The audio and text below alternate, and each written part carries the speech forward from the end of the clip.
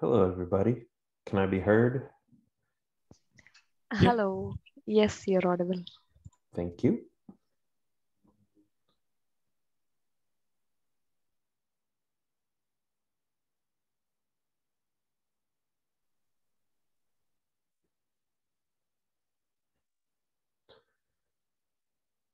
I see there's a few items on the agenda for which I would maybe expect at least Emily, so I'll give her a minute to join here. Hey Chase, thanks for helping to facilitate. Sure. This could be a wild ride, so buckle up.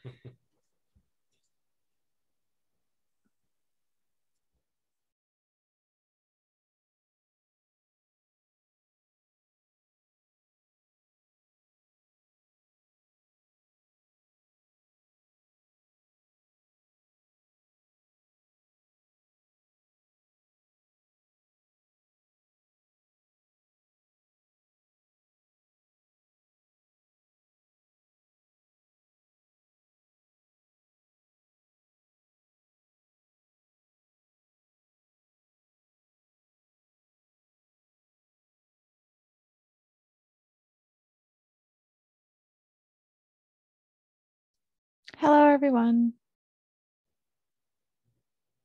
Hey, Hello.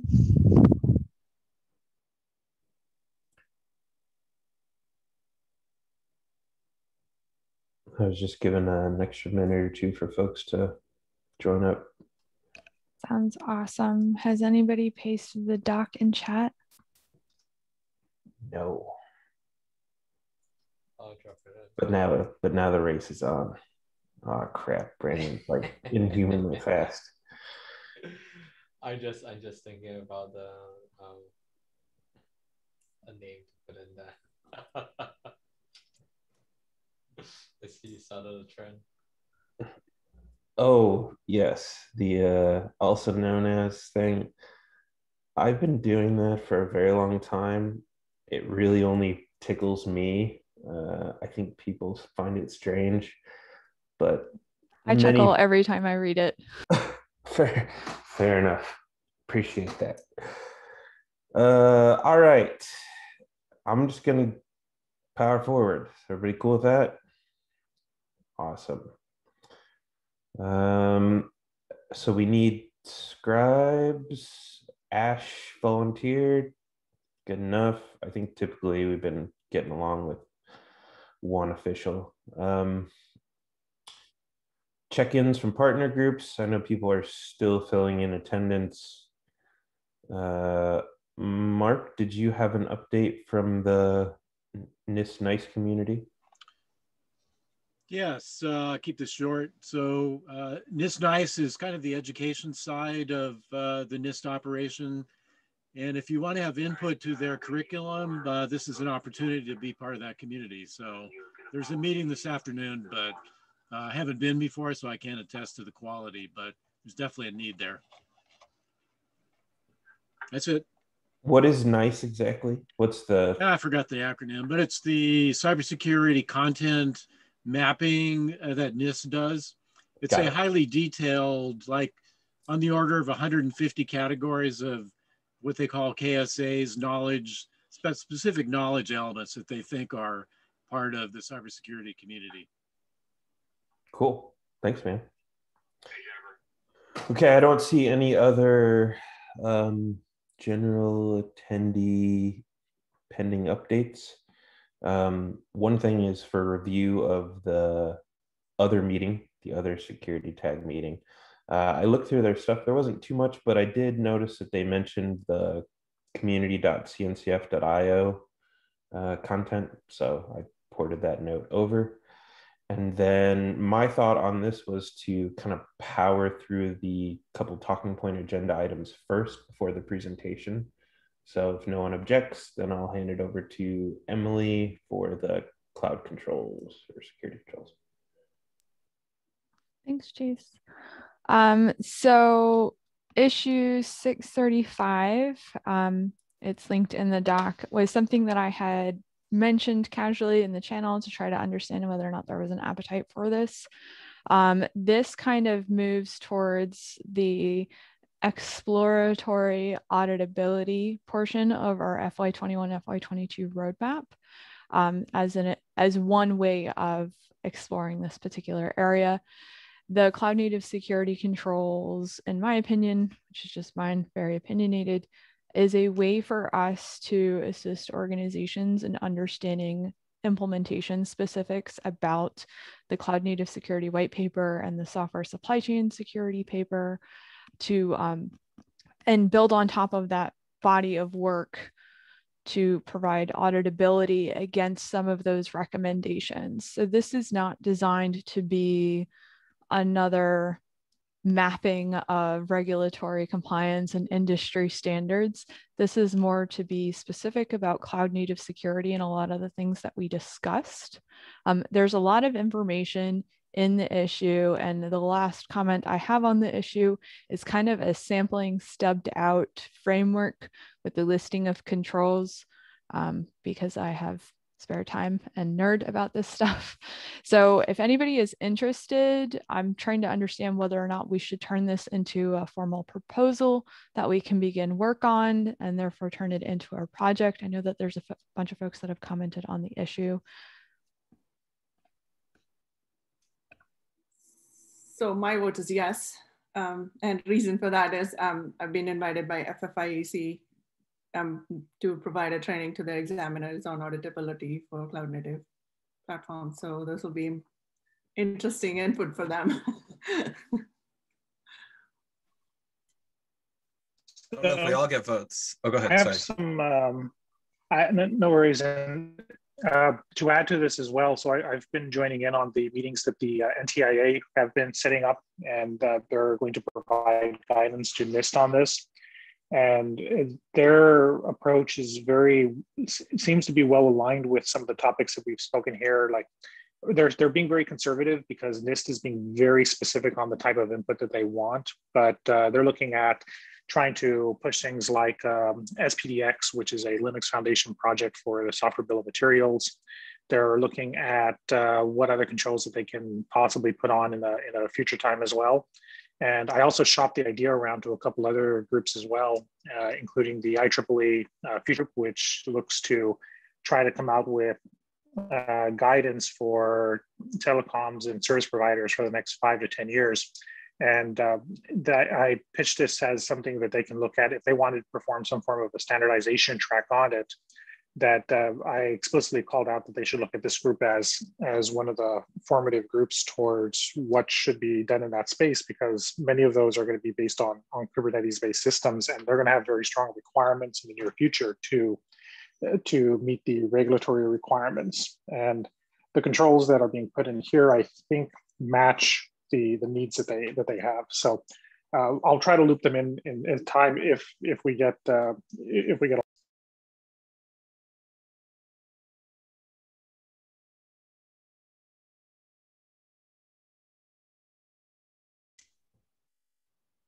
Did he, did he get cut off or is it just me?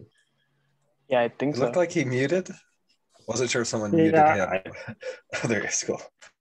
No, that I, I, I said what I was going to say. Sorry, I, I should have said. I, I, should have given some indication I was done. Sorry. Okay, over and out, did, sir. Did it cut? Yeah, exactly. No worries. Okay, so to my understanding, probably the best thing folks could do is comment on an issue, uh, indicate interest. And then the next agenda item is also Emily, uh, issue 638. Yep. So this one is, um, I spent some time going through the issues that we currently have open, uh, trying to close out some of our long-standing ones um, that have either been superseded by existing work by the group or no longer apply, or we just don't have enough information or the bandwidth or the current interest to pursue.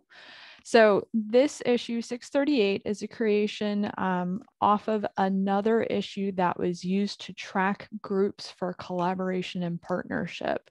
So it's been recommended in the past that it would be beneficial for our our group to provide um, situational awareness on other efforts within the community at large, as well as within industry where um, our principles and goals kind of have some level of alignment in case members want to do cross collaboration with them. So that's issue 638, really initially just looking for someone to kick off a PR with the contents of the previous issues that have been closed in this area and getting it set up into the repo. That way we can continue to sustain it as regular business. Uh, hey Emil, this is Pushkar. I can take care of this if it's if there is a way to assign myself or you can assign. So in order to assign folks, and this goes for everybody, you have to comment on the issue first and then we can assign you to it. Okay, I just did. Okay, real-time collaboration. Uh, the next agenda item is uh, from me. So essentially, the idea is uh, we have the Cloud Native Security White Paper. Uh, it is in text visual format only. Wouldn't it be swell if there was an audio uh, recording that you could listen to? This could be one narrator, this could be multiple narrators. Um, soliciting for interest here the approach may be to break up the white paper, have a few people record their sections and stitch it together. We seem to have uh, some folks with audio processing capabilities. Um, so before we get things started, wanted to bring it up as an agenda item so that everybody can uh, get involved if they like. And I believe that brings us to the presentation on the uh, lexicon team efforts. Is so yeah, Chris, Chase, Raja? I just wanted to yep. chime in on the um, that other issue. Um, sure. To maybe inspire people. Um, we have a couple of people from down under um, who have volunteered to record. I love the idea of having English. The idea is to have native English speakers, right, do the recordings. And if we, you know, can get different people across the planet, um, I think it would just provide a great richness. So if you, um, and I think we have some, um, at least North Americans, if not just US, I'm not sure. But you know, if you have a, um, if you're a native speaker and you have an accent that is not represented, um, or like a voice, um, I, I just want to encourage people to chime in. And um, I also chimed in an idea of, um, you know, potentially doing a live thing that could then be post edited to kind of speed things up. So I just wanted to kind of give a flavor of some of the brainstorming that's happening on the issue to inspire people who might just want to play a minor role or even as an audience. Um, uh, it would be great to have your thoughts on the issue. Thank you. One thing I wanted to add there is uh, one of, uh, so many of you probably know uh, Nigel Poulton. So he has an audiobook related to Kubernetes that he has uh, uh, basically gave voice to by himself. Uh, what I was wondering is if there is some interest from people who will be doing the recording, I can ask uh, him if he would be uh, had would have time or be interested in sharing his thoughts on what worked for him that's specific to Kubernetes so things like how do you read a YAML if you are actually talking about uh, the book uh, or how do you write some talk about JSON uh, text that's in your book. So those kind of things might be useful. Maybe it won't be useful. So if if you feel like whoever is going to work on is would find that beneficial, please tag me to the issue and, and then I can start a conversation. Can't guarantee he'll be available or when he'll be available, but I'll try. Yeah, some pro tips on uh, deciphering non-narrative content would be pretty welcome and interesting, I think. Yeah. I, I had one update, Chase. Sorry, I added it later. If I can go now uh, instead of later. So one quick thing I wanted to check with uh, co-chairs and tech leads and everyone else is we had the survey out for cloud native security white paper for about two, three months now. And uh, so far, last time I heard, we have about 70 responses from uh, respond uh, participants. And I think at this point of time, it feels like the right time to close the survey for two reasons. One is 70, I think is a fairly good enough number. And second is this will give us enough time to look at the responses, figure out what we really want to do and update the paper accordingly. uh, before KubeCon North America is uh, there in um, in October, I think. So that's what I'm thinking. And if anyone has other thoughts or uh, some other ideas, I'm open to discuss it here or on the issue. What issue was that? What issue number? 480. I added it in the agenda in front of my name. Awesome. Cool. I think that's business of the day leading up to the presentation. Um, I noticed we may have some new members. I'm not sure whether we we wanna um let them introduce themselves if they would like to on the call. Yeah, great idea. I'll go ahead and introduce myself. Um, I've been part of the group for a little bit now, but haven't made meetings, unfortunately, so I'm happy to make this one. Uh, Chris Hughes here. I'm in uh, Virginia Beach, uh, Virginia in the US. Uh, definitely a big fan of the work that you guys have done with the white papers around cloud native security best practices and the supply chain uh, security white paper that just came out. Um, have about 15 years of cyber experience, mostly in the public sector with DoD and other federal agencies, and uh, you know really passionate about cloud security and cloud native architectures and uh, happy to be a part of the group and uh, definitely interested in the piece around uh, tying some of the practices from the white papers to certain security controls to make them actionable. Uh, so with that said, just happy to be here.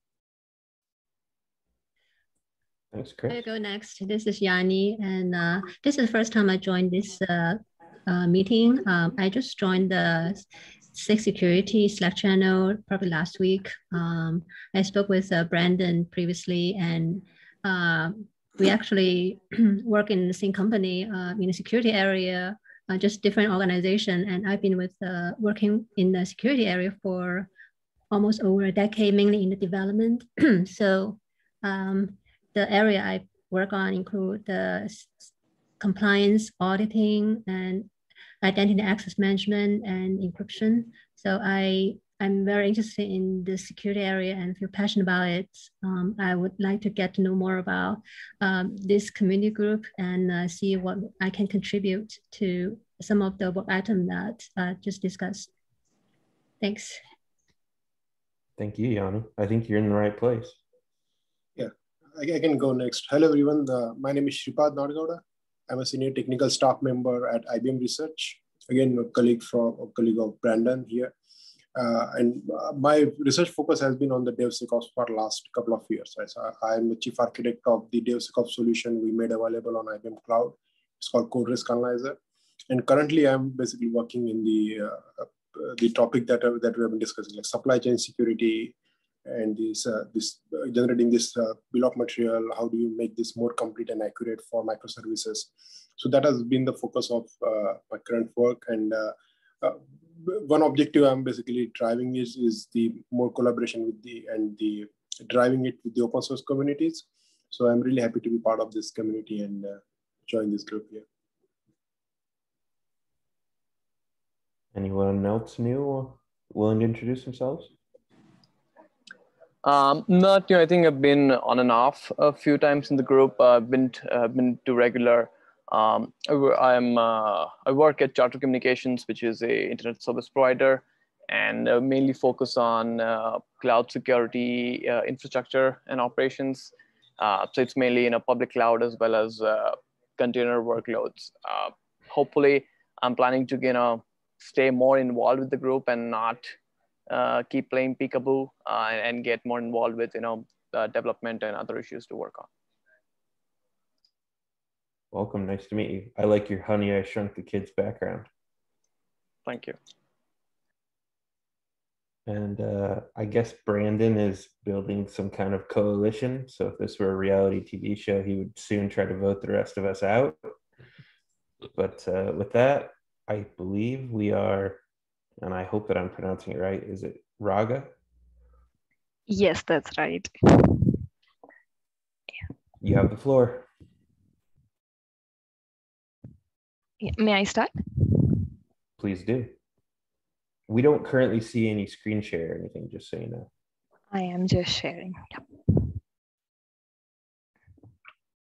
yeah. Is my screen visible? Yep. I can see it. Yeah. So cloud native security lexicon. Um, basically, this was um, one of the ideas that was proposed in the CNS, uh, the security SIG, which is now tag security. Um, why basically we want to do this project is uh, cloud native security cloud native ecosystem is growing and the number of cloud native projects is huge uh, many cloud native projects perform multiple functions and there has been some confusions in the ter security terminologies and we feel that few terminologies are overused or used as a catch-all umbrella incorrectly presented or misused or uh, you know some concepts has not been even uh, defined. So uh, we feel this is is the right time to you know to ensure all the community members have the same understanding of the terms and definitions and how they fit in their software development life cycles. This is the reason we initiated the cloud native security lexicon And the intent is to standardize the terminologies which are specific to cloud native security and to bring about clarity to the cloud native practitioners, the developers, the operations folks, um, to make sure the right set of security terminologies are used in the right context across the SDLC cycle and the operation environments.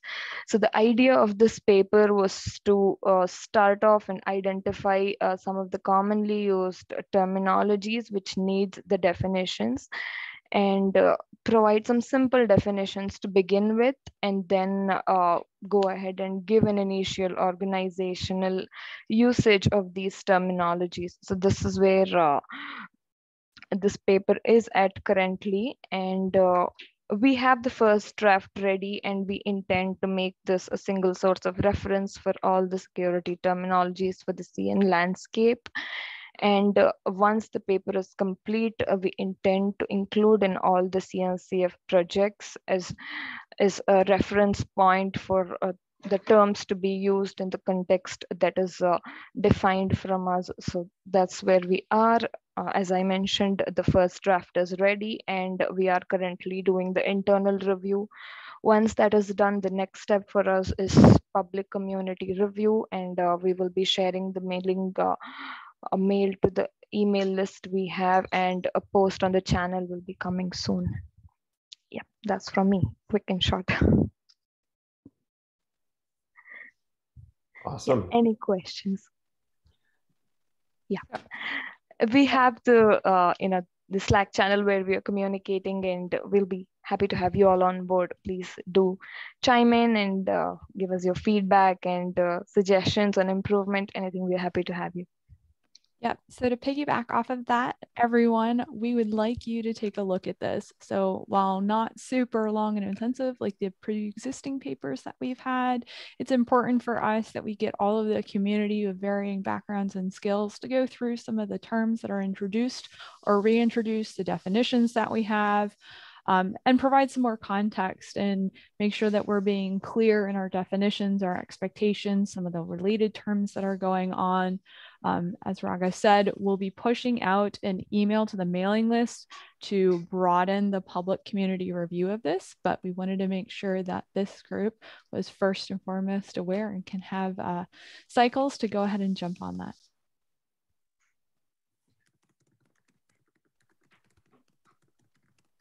Awesome. So it sounds like uh, proactively go look at the paper. You can join the Slack channel and there will be a explicit solicitation for feedback coming soon to the normal channels. Just a quick question. Um, how long is this review cycle? I believe the first review would be planned to do is by end of this week. And maybe later that uh, we will consolidate all the feedback and uh, probably next week, Emily, can we share it to the rest of the community? Yeah, well, I was thinking that we would just open it up for two weeks now moving forward, and then we'll have about two weeks of adjudication for those comments right after. That way, we give everybody time because I know lots of people have meetings, things are going on in their lives. We want to make sure that they've got an opportunity to provide feedback. That would be great. Thanks.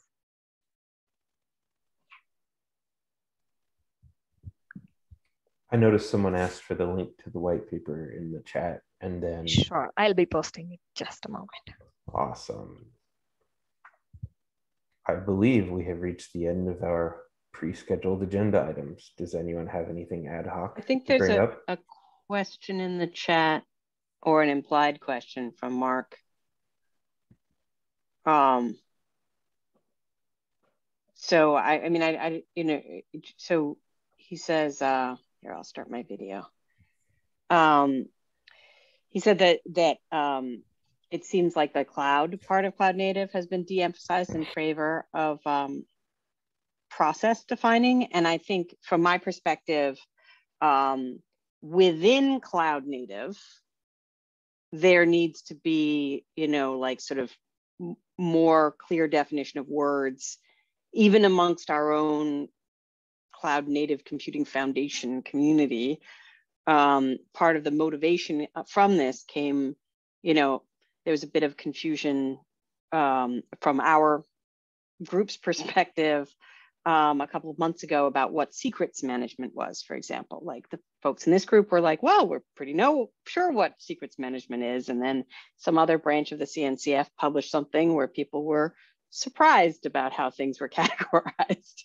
and so um, so it came up at a TOC meeting, the technical oversight committee, which were kind of under their governance auspices, auspices, and they said, well, we they would the the question wasn't really answered in the white paper. The white paper didn't really, you know, while it discussed all the terms and used them in context, it didn't really define all the terms to the extent that the wider CNCF community would need in order to do different activities. Um, and so that was really a request that where this um, definition of terms white paper um, came from. And um, and so this is we're going to do this within cloud native. We're not going to be just defining general software life cycle terms except where that's necessary right in order to discuss the other things. And and my assumption is and i haven't read the whole um, current white paper is that you know if possible like whenever something's not cloud native specific or if there's another resource that we completely 100% agree with um, we can just refer to that we can say oh this collection of terms is defined over here.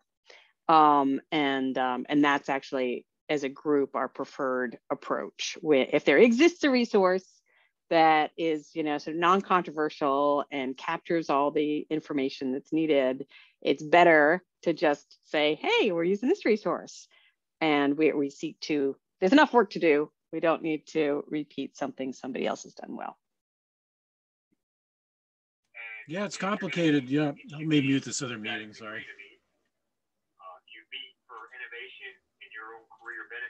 Yeah, the what's happening with in my enterprise is we're in a journey to cloud, but the cloud native technologies are front and foremost in the journey. So stuff happening in on-prem is using CI/CD. We're using a lot of the same open source tools. We're uh, dealing with supply chain integration of open source tools, cloud and non-cloud. And then in places like telecom, which are kind of doing some leading edge work with cloud native, the meaning of cloud is non-conventional. It really is still cloud, but they're setting up staged data centers that are closer to the endpoints that they're trying to support. That also is, I think, a novel uh, scenario for the use of this. So when I pitch this to the people that I want to bring to this meeting, you know, to go listen to the tape afterward and uh, immerse themselves in the ecosystem. I'm trying to paint a broader stroke for this. I don't think it needs to change what's in the white paper necessarily. Yeah, I think that that's a good point, and I think we we do have, I believe we have a exploratory topic on this. So I think this is something that that you know it will it will grow into it. Um, yeah, I personally am seeing some requirements of 5G come out as well, as yeah, expanding the control plane of cloud native into the edge deployments as well. One of the problems we're going to run into with the 5G space is the protocols were never designed for 5G style, or sorry, we're never designed for the type of controls that we are looking to put in. So they defend the data plane, but the control plane tends to be trusted as a perimeter even across the uh, even across the boundaries. And that's going to be one of the challenges that we're going to have is how to properly secure the uh, not just the the things connecting in, but to also control to also help with the control of the of the infrastructure itself, which is going to become even more important once we get edge data centers with 5G access points there. Yeah, it's it's it's a really strange um, architecture, like the like you're saying, like the control and data plane out on totally different networks at sometimes. Yeah, and like the um, the protocol they use, like UTP, like they they literally assume that the environment that they live in is is a is a secure environment from from my understanding of it. And um, that's that's something that, that we're going to have to to try to work out how to how to deal with some of these issues. Maybe it's not a problem that we solve ourselves but it's certainly one that that needs to be raised and and uh, needs to be tackled by by those communities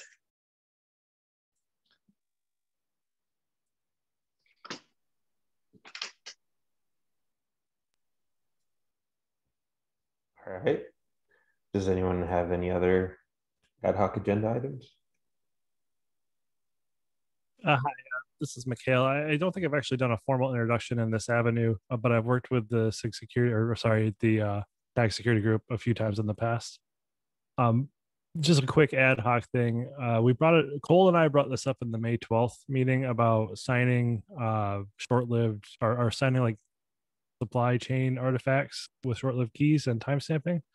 We had our first meeting uh, that we organized that day, this Monday, and there was some interest with that group of people in in creating a more organized working group. And I was just curious if there is a defined set of processes to get that going, or is this something we could just do like ad hoc on the side? Um, and just how that kind of could work.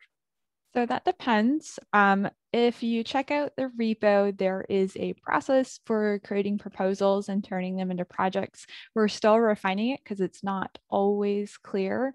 But for right now, um, you bring up a topic during one of these meetings, you create an issue, you flesh out that topic area a little bit more with maybe um, one or two um, kind of deliverables that you're looking to get out of it. Thank you, Sarah, for posting the process in the chat.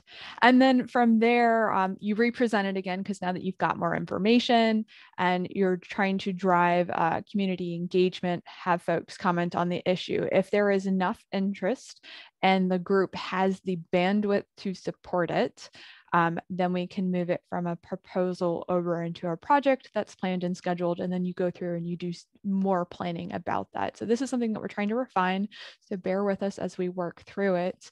Um, if you have any questions, let um, one of the tag leadership know.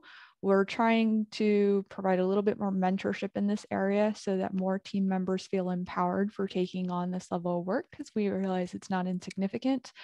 Um, but additionally, we want to ensure that the community has enough time to be able to participate in all the things that they want to. So we may pause a few projects because there's a lot of community interest, but we currently have like four or five things ongoing. Perfect. Thank you. And, and sorry for missing the uh, the processes, but I really appreciate the the talk through and the forward. Uh, Not a problem. It's a big repo that we have. So we're more than happy to point folks back to the repo on the specific areas that they may have questions, but also encourage if you need some bedtime reading material, the repo has a lot of good information in it.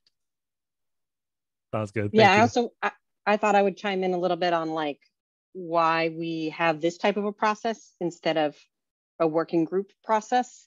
Um, we sort of defined a bunch of our governance at a time when the CNCF was spinning down the concept of working groups in favor of SIGs and was there's a lot of discussion about they had attempted to have working groups have a deliverable and dissolve. And then what would happen is a working group would do the deliver, like eh, once a working group was established, it wouldn't want to end itself, but it wasn't clear what they were doing next. And so that impedance mismatch was a little difficult for the leadership team. And so we had had success with multiple people just working on a GitHub issue. um, which has sort of a natural end when you close the issue. So that evolved a little bit and we, you know, we started using GitHub templates and it's worked really well for, there's a group of people that want to do a thing. And so you first collaborate on an issue. If it turns out that there's a serial set of things, then we create a team, which is really only called that because there was this like negative reaction to working groups at the time, two and a half years ago. Um, so uh, so we have like a policy team, and we have we don't actually even have a um, security assessment team, although maybe we should now. Um, that started as having an individual facilitator and having a series of issues. So we want to make sure that there are enough people to do the next issue before we set up a team, because then that has a little more governance and rigmarole that we have to set up. And why do that if we can just have a GitHub issue? That makes a lot of sense. And thank you. I appreciate the context. All right. Have we reached the end of the line? Does anyone have any other items to address? Going once, going twice. Okay. Everyone have a great day and 24 minutes back in your pocket. Thanks. Thank Thanks. Thanks, everybody. Great job, Chase. Yeah. Thank you. Thank you. Thank you.